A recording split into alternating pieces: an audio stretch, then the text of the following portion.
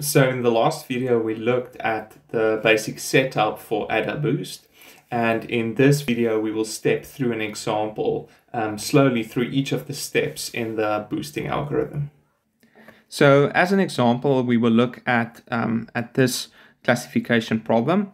Um, it's a binary classification task and we're trying to figure out um, whether a point belongs to class 1 or class 2 and our training data has this kind of moon shaped with class 1 here and class minus 1 there.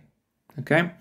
And again in this example like we did with um, with the uh, boosting for regression we're going to use as our basic model, our kind of building block as our weak classifier, we're going to use a decision tree stub. So that's a decision tree with um, just a single split. The simplest decision tree that we can have. So that will be our, our weak classifier. So let's just step through the algorithm and see what happens. So step number one, initialize training item weights wn equal to one for all training items. So that just basically says, look at all your training items and they're all equally um, important at this point in time which is basically before we start. So let's say that training item is training item, I don't know, 25. Okay, then the weight for that training item is just set to one. Okay, and all of the training items are equally important. So we set um, the same weight for all of them.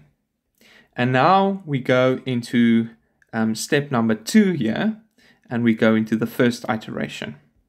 So b is equal to 1 um, at this point. Okay, the first step um, in this inner loop, uh, the first step here is fit a model f1 x theta 1 so that it minimizes the classification error rate weighted by wn.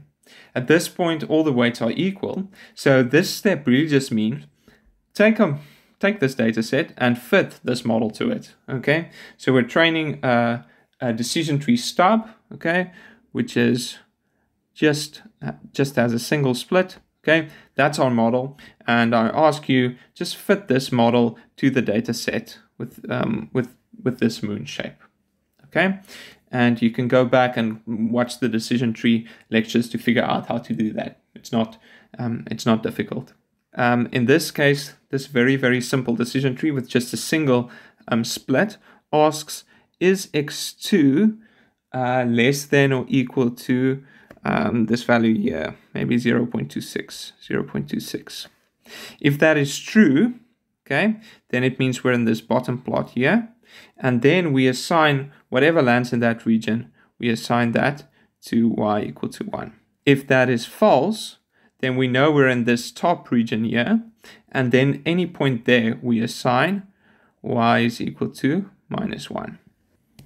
So this is the output of the model f1 with inputs x and parameters theta 1. Theta 1 in this case just summarizes um, the tree structure here. So we're done with step A. Okay, we're in iteration B1, but we're done with step A. Now let's check what is the next step. So step B says set the model weight using the error term um, epsilon. And I will explain this, um, this step in a lot more detail in just a few slides. But just intuitively for now, this lambda b, currently we're looking at lambda 1, that will be a big weight if my classifier does well. In other words, if it has a small error, and it will be small if I have a rubbish classifier. If my classifier is not doing that well, then I will have a very small um, lambda. Okay, so in this case, the classifier, let's look, where is it messing up on my training items? Um, it's messing up here, it's messing up those points, those points, those points, and those points, okay? But overall, it's correctly classifying on the training data all of those points. So um, I checked and the lambda that's assigned here, lambda 1 is equal to 0 0.87, which is a okay number. Okay, now we're done with step B. Now we go on to step number C. And here it says, update the training item weights. And what happens here, um, just intuitively for now, and then we'll, we'll, we'll look at the details a bit later on. If my training items are correct, okay? So for instance, these training items, these training items. Then I'm going to adjust their weights. I'm going to change their weights so that their weights become smaller. I'll show that a little bit later on, but you can already see here we're going to um, multiply the weights by uh, taking the exponential of minus lambda b, and that value will be smaller than 1. Okay, so we're going to update the, we're going to change the weights, we're going to take the current values, which is just 1, and we're going to multiply them with a value that's smaller than 1. That's if the classification is correct. If my correction is incorrect, then I do exactly the opposite. I take the current weights from those points where I, I made a mistake and made an incorrect prediction, and I actually multiply them with something that's larger than 1. So I'm changing my weights so that they become bigger.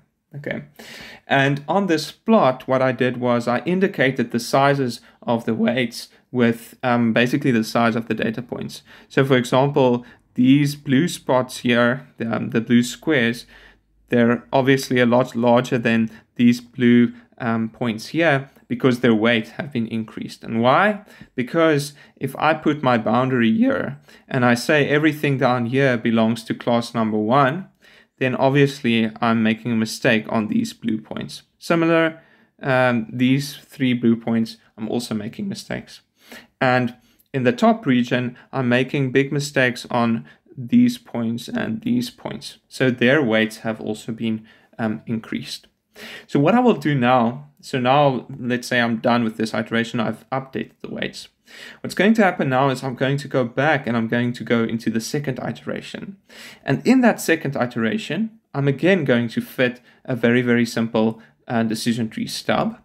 But now, instead of just blindly trying to minimize my classification errors, I'm going to um, put a weight on each of my training items. And specifically, what I'm going to try and do is I'm going to try and make sure that for these points, that where I had a, um, a larger weight, I'm going to put more emphasis on getting them right. So before we go on to the next slide, which actually shows the output of F2, our second model in the second iteration, maybe you can try and guess where this model will put the, the, the boundary. So basically it's saying, uh, you know what, these points, these points, these points, and these points, they're super important. Try and put a boundary to get them right. I also care about these other points, but I've adjusted their weights that I don't care about them nearly as much as these points that I messed up on. So F2, our second model, really wants to get these points right. Um, now remember when you're fitting uh, a decision tree, you're basically going to say, should I split x1 or should I split x2? And then um, if I'm considering splitting x1, I need to decide, am I going to split it there, there, there, there, there, there, there, there, there. Um, if I'm going to split x2, where am I going to split it this way? Um, okay, so where do you think is a good point to put a split so that you get most of um, these um, bigger weighted points, where do you think is a good split um, to get those points right? This is the output we get. So we're in the second iteration, so we're in b equals to 2. And this is the output from the second model that we train. So f2 input x, um, the decision tree is given by theta 2. And the model decided to put the decision boundary right about here. Okay, so let's just go back quickly to the previous slide and just see why it put the decision boundary here.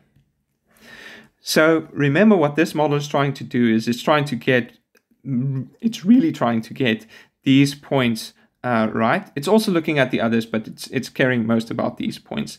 And what it decides to do in the next slide, you, you can remember, is it tries, it puts a decision boundary around here. Okay.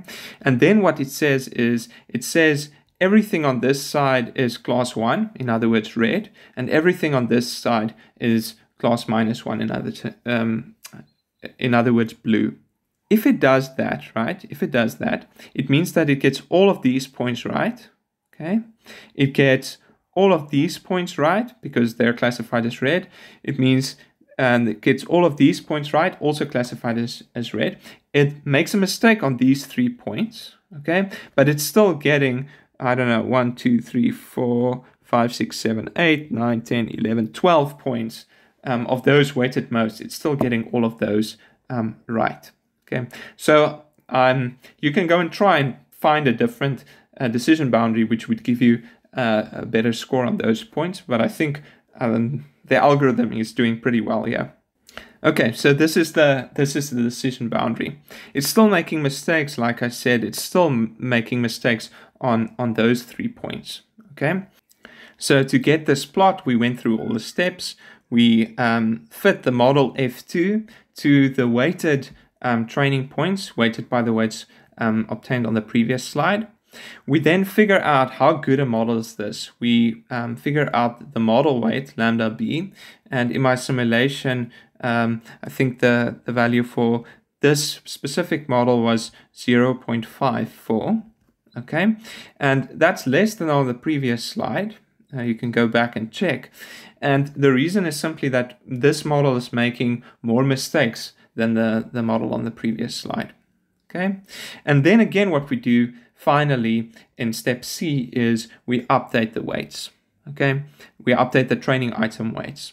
So now what we do is we go and look again at our plot. Okay, and we say, listen, where are you still making mistakes? Now we can see that these three points, they got a very, very big weight.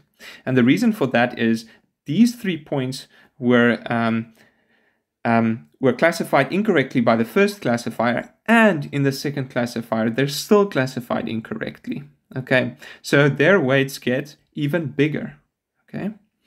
Um, these points these points down here they're getting very small because they've been correctly classified by both the first and the second classifier okay? Similar similarly these these points here. These points they were classified correctly in the first classifier, but now when we update the weights, they're actually classified incorrectly, right? Because they're labeled as, as class one where, where they're actually class minus one. These points here, these points here, and these points here, remember they were misclassified by the first uh, classifier. They're now correctly classified, but we still keep um, a bit of weight assigned to them because we know they're difficult training points. But they do get smaller from, um, from the previous weights. Okay, and what we will do now, we will update the weights, so we'll be done with step C, and then we'll go on to the third classifier. And the third classifier will now look at the weighted points with these weights. So the third classifier will really, really, really care about these three points. It will care a little bit more about these points, and it will care not that much about these points and these points. So this is the output from the third classifier. Okay, so we're in the third iteration now. Um, b is equal to 3. And this is the output from, from the th this third classifier. You can see that it gets these three points right, which was important. We saw that from the previous slide. But now it's making mistakes on these points. Okay. So what's going to happen is you're going to repeat this process. Okay, every time you train a new um, decision tree stub, you're going to check what are the points that I'm messing up the most from my history of previous classifiers, okay? And then I'm going to try and get them right, okay? And we continue to do that for a number of iterations. So in the next iteration, we will care a lot about these points. And we see that we get them right now, but then we make a mistake on these points and we continue, um, we continue in this way. This is the output from the final model. I've trained 20 decision tree stubs. So this output is the output from, from our, our final step here. It's basically uh, the weighted vote from all 20 my different um, my different um, classifiers. So uh, fx um, theta, and theta for my final model is the combined parameters of all the uh, different decision trees. It's going to say, um, take all the weighted votes, start with the first model, weighted by its lambda, get the output from the second model, F2, and weigh it by its, um, its lambda, lambda 2, and so on for all 20 of my models. So the 20th a decision tree stub, little model, um, theta 20, which describes that 20th decision tree. Um, and I basically take the combined votes from all of them. I weigh each vote by how good um, a classify that specific model is. And I, I then look at um, the sign basically if the majority voted for plus one or minus one. Remember, a single decision tree can just separate this whole input space here into just two regions. But now we've combined them to get a fairly complicated decision boundary running, um, running here for separating out class 1 and class minus 1. So we've stepped through a fairly lengthy um, example, but there are still a few um, of the exact details that we miss in the algorithm, and that's what we'll look at in the next video.